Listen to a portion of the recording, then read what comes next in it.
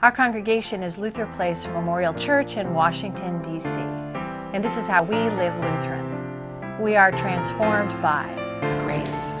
After drinking and drugging and ending up homeless, I came to Luther Place in N Street Village, where I felt unconditional love and grace. By radical welcome. Radical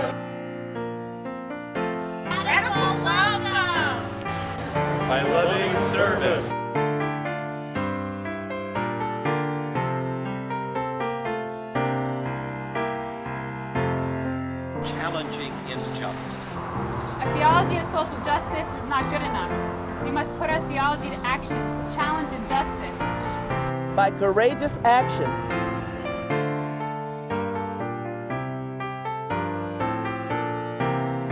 By Christ. By prayerful reflection. By the Holy Spirit.